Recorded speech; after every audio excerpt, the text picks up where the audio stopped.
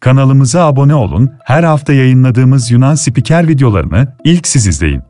Μπορούν να την επαναφέρουν στον Μέρη, την εκλαμβάνει ως δική της αυτόνομη δυνατότητα να, να λύσεται έτσι. Ενώ σαφές ότι αν οι Αμερικανοί ή και οι Ρώσοι αποφασίσουν να, να, να τις ε, επιβάλλουν ε, ε, επιπτώσεις, να, να, να, να, να τις ε, επιβάλλουν κυρώσεις ε, και στο επιχειρησιακό τομέα και στον οικονομικό, αλλά κυρίως στον επιχειρησιακό, να τη ματώσουν, να το πω απλά, είναι σαφές ότι μπορούν να το κάνουν. Απλά η Τουρκία εκλαμβάνει την ανοχή ως δική της αυτονομία αυτόφωτη. Ναι, ξέρετε, ε, εδώ ε, ε, υπάρχει και μία, για να μην, θεω, να μην νομιστεί ότι θεωρούμε πως όλα τα δεδομένα είναι ευνοϊκά για την Τουρκία και θα της επιτρέπουν να συνεχίσει αυτή την εκβιαστική κίνηση, την αμφιταλάντευση. Ε, υπάρχει, υπάρχουν και μειονεκτήματα σοβαρά στην τουρκική στάση. Ποια είναι αυτά, αυτά που τώρα είπατε, και που, ε, που συνίστανται σε μία παρεξήγηση ως προς τις δυνατότητες αντίδρασης της δύσης. Η μεν Δύση δεν αντιδρά όσο θα μπορούσε γιατί πιστεύει στην καλή διάθεση της Τουρκίας. Η δε Τουρκία προχωρεί πέραν του σημείου που θα ήταν, φαίνεται να προχωρεί, πέραν του σημείου που θα ήταν διατεθειμένη η Δύση να ανεχθεί και όχι μόνο η Δύση, αλλά και η Ρωσία.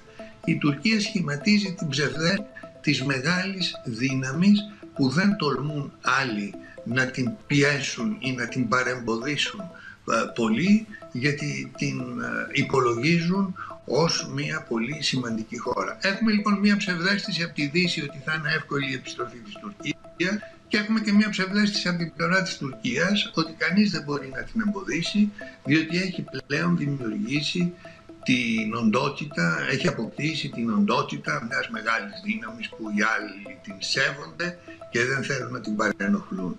Ε, μέσα σε αυτό το πλαίσιο θα συνεχιστεί νομίζω και η συμπεριφορά της, αλλά βεβαίως στη διεθνή ζωή δεν είναι όλα προγραμματισμένα και όλα προβλέψιμα.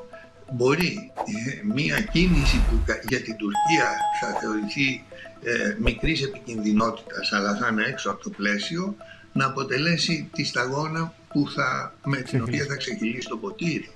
Επομένως εκτίθεται και η Τουρκία σε κινδύνους υψημένης προκλητικότητας, όχι πια απέναντί μας, απέναντι στο, στις, στις χώρες ε, του δυτικού κόσμου και αυτό ε, νομίζω ότι έχει, ε, μπορεί να έχει επιπτώσεις πολύ πιο ό,τι η τουρκική ηγεσία θεωρεί. Από την άλλη, όλη αυτή η συμπεριφορά της τα τελευταία χρόνια έδωσε την ευκαιρία στην Ελλάδα να αναπτύξει μια πολιτική ε, την οποία δεν είχαμε αναπτύξει το προηγούμενο διάστημα και να ανακαλύψουμε την πραγματική γεωπολιτική εμβέλεια της ε, χώρας. Έχουμε σε μικρό χρόνο, σε πολύ σύντομο χρόνο, ε, συμφωνίες οι οποίες έχουν στρατηγική σημασία, στρατηγικές προεκτάσεις με τους Αμερικανούς, με τους Γάλλους, με τα Εμμυράτα, με το Ισραήλ, με την Αίγυπτο. Ξαφνικά ανακάλυψαν οι άλλοι την Ελλάδα λόγω της κρίσης με την Τουρκία, αλλά αφού την ανακάλυψαν, συνεχίζουν να βλέπουν όλο και μεγαλύτερες προοπτικές και δυνατότητες λόγω της στρατηγικής θέσης της χώρας μας. Αυτό θα αποτελέσει και εκτιμένο ακόμα κι αν αποκατασταθούν έστω εν μέρει σχέσεις Τουρκίας με την ε, Δύση. Αυτό νομίζω ότι θα, θα αποτελέσει και εκτιμένο γιατί ευτυχώς η, η δραστηριότητά μας προς αυτή την κατεύθυνση της διεύρυνσης δηλαδή των συμμαχικών μας πλαισίων της, της ενίσχυσης των σχέσεων συνεργασίας μας με άλλες χώρες στην περιοχή των ενδιαφερόντων μας και ευρύτερα ε, είναι ε, μια δραστηριότητα που ε, έχει προχωρήσει αρκετά, είναι προς την ορθή κατεύθυνση, θα ήταν ευχής έργο να συνεχιστεί και μάλιστα με θαραλέους ρυθμούς και πιστεύω ότι θα δημιουργήσει ένα κεκτημένο που δεν θα εξαερωθεί αν η Τουρκία επανέλθει εντός εισαγωγικών στον ορθό δρόμο αλλά εκείνο που χρειάζεται, ξέρετε, αυτό εξαρτάται όμως ε, δική μας στάση. Δηλαδή να επιμείνουμε και εμείς σε αυτή τη συμπεριφορά καταγγελίας των τουρκικών αυθαιρεσιών, συνέχισης συνάψεων σχέσεων και να μην ανακρούσουμε πριν να αν η Τουρκία δώσει κάποια δείγματα καλής συμπεριφοράς. Ε, διότι αυτό θα αποτελέσει μία υπαναχώρηση που θα υπονομεύσει όλη αυτή την προσπάθεια που γίνεται μέχρι τώρα. Και που ευτυχώς γίνεται θα σας έλεγα ίσε να γίνει διότι ε, για, για μεγάλο χρονικό διάστημα είχαμε κάποιες σταθερές στον τρόπο προσέγγισης των εξωτερικών μας σχέσεων που εκ των πραγμάτων αποδείχθηκαν λανθασμένες. Παραδείγματος χάρη.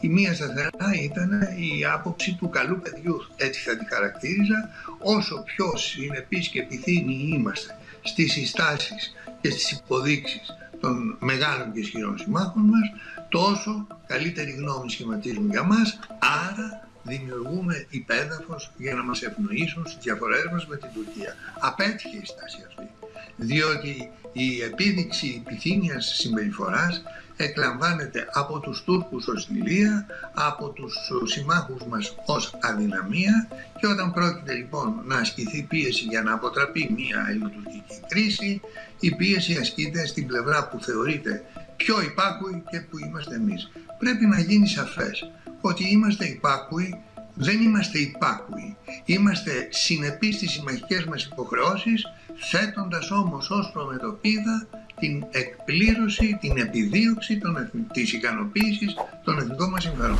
Αυτό πρέπει να εδρεωθεί και να τηρηθεί με τέτοια συνέπεια ώστε να γίνει απόλυτα κατανοητό και να θεωρηθεί ως δεδομένο από τις άλλες χώρες. Είναι πάντως εντυπωσιακό